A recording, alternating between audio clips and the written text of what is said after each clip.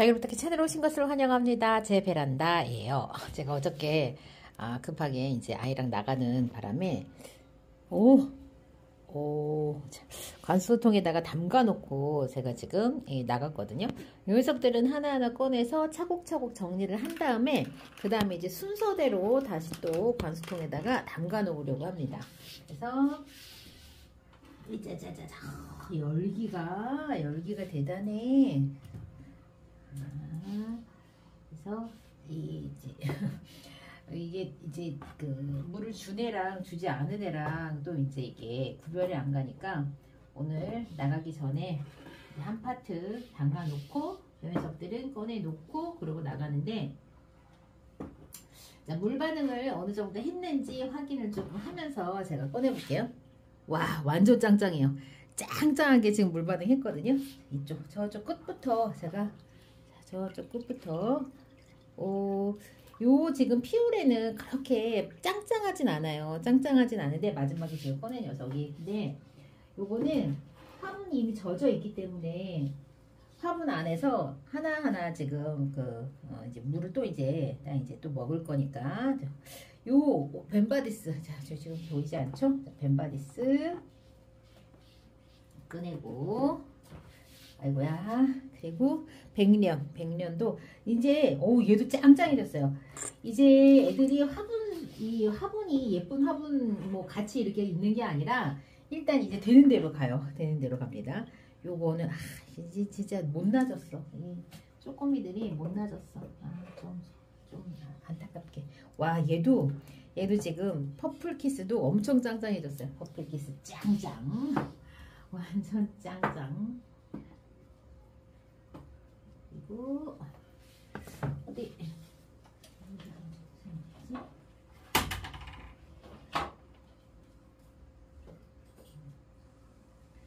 새로 바로 지금 에케문스톤이 지금 들어왔는데 요거 요, 요 녀석 이름이 콜로라도거든요. 자, 콜로라도도 좀 나갑니다.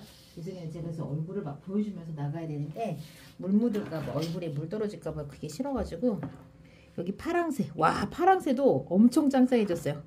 뿌리가 다들 지금 물을 지금 달라고 애들이 아우성일 때에 지금 딱 지금 관수가 들어가고 있기 때문에 바로 러블리 로즈 들어오고 있고요. 그리고 예 르누아르 르누아르는 뭐 아직까지 아 르누아르가 밑바닥이 지금 보니까 관수가 딱 되는 데가 너무 낮아. 이 나, 낮아가지고 저면 관수가 여기다 물을 제가 좀 더 채울 거거든요. 음 저변 관수가 왜 여기다 이렇게 제가 하냐면 이게 지금 그 이게 뭐야? 깍지 케어랑 이런 살균이랑 어느 정도 좀 있어요. 그래서 자좀 이렇게 얼굴에다 지금 이렇게 로제트에다가 하는 이유가 깍지 케어를 조금 하려고 농약만큼 효과가 있지는 않지만 그래도 유충들은 어느 정도 잡을 수 있지 않을까 하는 기대감에 아 요거 조금 아쉽다. 얘는 조금 아쉬운데 음, 음 깊이가 얘가 올라올 만큼이 안 돼서 근데 다 젖어 있는데 지금 여기가. 얘는 퍼플레이는 지금 다 젖어 있고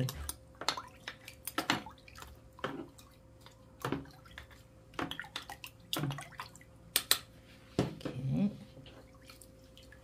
먼저 물 가득 먹은 애들은 지금 빼주고요. 이 녀석도 퍼플레인도 빼고 다리를 바로 바로 요거는 지금 샴페인 샴페인이 들어오고 요 블랙 아이즈도 바로 나옵니다. 나오고. 사실 이 라자가는 별로 물이 고픈 컨디션이 아닌데 그래서 그냥 줄 때 줄게요. 그다음에 리가 리가 쪼매니도 좀 먹이고 여기서 나가고 저번 애들은 순서대로 나가고. 다시 또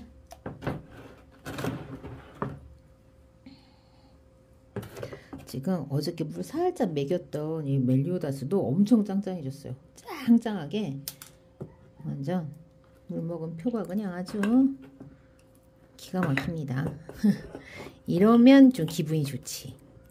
뿌리가 건강하다는 걸 제가 간접적으로 확인을 하니까 온슬로우는 지금 다리가 높아가지고 제가 물을 또 채워야 됩니다.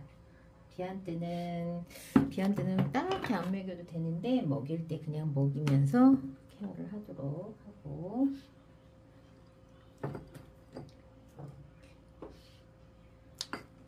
여기까지 하고 물을 좀 더 채워볼게요. 이게 거품이 나는 이유가 제가 퐁퐁물을 넣어서 그런 게 아니라 여기 관리제가 생물관리제가 이런 게 있어요. 농약도 이러거든요. 농약도 막 흔들면 거품이 나요, 여러분들. 어? 이렇게 얼굴에다가도 이렇게 얼굴에다가 하는 이유는 얼굴에 깍지들이 있으니까 아니 저면으로 하는 거는 애들 얼굴에 이거 안 달려고 하는 거 아니야? 이러실 수도 있는데 얘들 얼굴에 깍지 같은 애들이 이렇게 있어가지고 지금 전체적으로 제가 물을 오랫동안 말렸자, 말렸거든요 베란다를 그랬더니 애들이 살짝 전체적으로 다 지금 약간 깍지 그게 있어요 약간 그 느낌이 음, 오랫동안 제가 다육이 키우면서 저만 저만 그 아는 그 아니 느낌이 있어. 어, 막 깍지가 엄청 많지 않아도 가만 두면 그러면 이제 창고를 하는 거야. 이게 우선은 화분이 다 젖으면 깍지들이 이제 유충은 뭐 알은 몰라도 이제 어린 유충들은 못 견디고 이제 기어 올라오죠. 사실 그때 상면에서 깍지약을 주면 딱 좋다고 하는데 오늘은 키핑장을 가면 좀 희석을 시켜가지고 가야 될 것 같아요.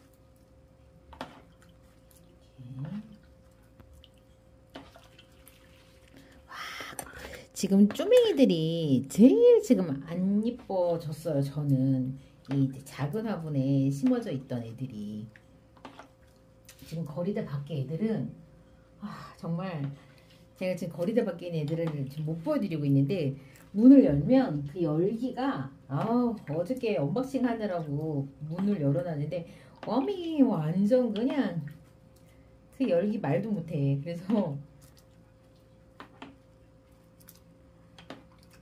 오늘도 날이 어마어마합니다 와 제 키핑장 다육들 진짜 얘네들은 베란다 그 거실에서 제가 에어컨을 틀고 그 에어컨 바람이 이렇게 거실로 오면서 지금 여기 습도는 습도가 굉장히 낮아요. 그래서 습도계 습도계가 습도 측정 불가해요. 습도가 너무 낮아서.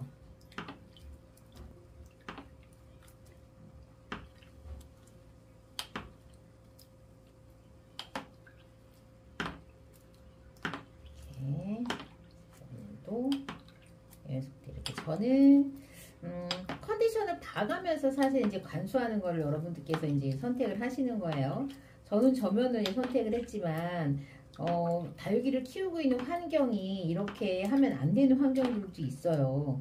너무 이제 욕심껏 애들 이제 물을 이렇게 이제 줬다가 나중에 이제 후회하시는 분들도 많이 계시니까 이런 방법은 좀 이렇게 어, 이런 방법은 좀 이렇게 본인들이 야 이렇게 해도 되겠다라고 하는 컨디션에서만 가능한 거지 이게 다 이렇게 주시면 안 됩니다.